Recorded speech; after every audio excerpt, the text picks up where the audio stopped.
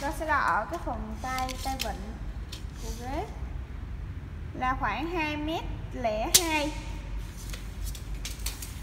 Và chiều sâu lọt lòng ghế. Là 55 cm đối với khoảng sau như thế này, chúng ta hãy thoải mái ngồi. Và kích thước chiều dài thì chúng ta có thể nằm được trên cái đảng này. Bởi vì chúng tôi thiết kế là rất là phù hợp với dáng người châu Á của chúng ta và những cái đường nét chạm đào trên phần chuông. Cực kỳ sắc sảo, nét đục rất là sâu. Và quý vị có thể thấy những đường vân của gỗ hương đá nó hiện lên rất là nhiều trên bề mặt của sản phẩm. Đây cũng chính là một trong những đặc điểm nổi bật khiến khách hàng ưa chuộng gỗ hương đá. Và với thiết kế là có ba vách tựa lưng, rất là dày. Thì mỗi vách tựa lưng này có độ dày là 3 cm đây là phần tựa gương và nhìn ngắm xuống cái mặt ghế thì quý vị có thể dễ dàng thấy cái mặt ghế trong được chúng ta tuyển vân rất là đẹp, vân cực kỳ nhiều.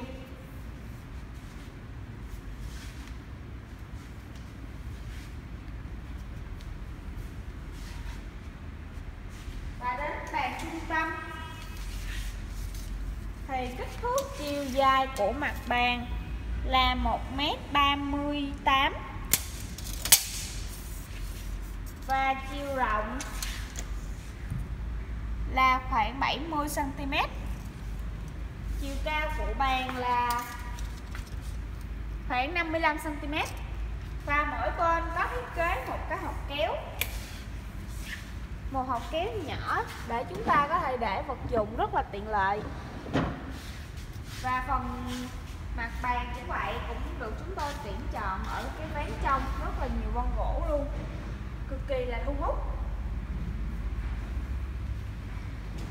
Và tiếp đến là hai chiếc ghế đơn.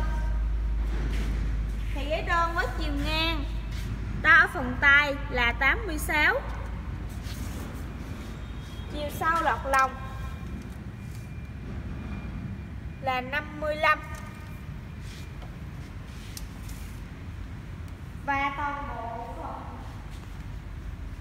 họa tiết thì được chạm trổ đồng nhất với chiếc đoạn dài. Vân gỗ rất là nhiều. Và ở giữa là một cái đôn kẹp để chúng ta có thể để thích trà hoặc là cũng như các vật dụng trang trí. Thì cái đôn kẹp cũng có một cái ngăn kéo nhỏ luôn.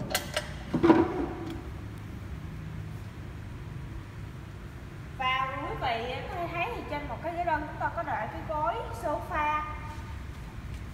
Thì nếu ờ, những khách hàng nào muốn tạo cảm giác êm ái khi ngồi hơn nữa, thì chúng ta có thể mua gối sofa này đang được công ty chúng tôi bán với mức giá niêm yết là 215 đồng cho một chiếc gối như vậy. Để vào thì rất là sang, và ngồi thì chúng ta có thể để ở đằng sau cửa lưng. Và cuối cùng là một cái đôn ngồi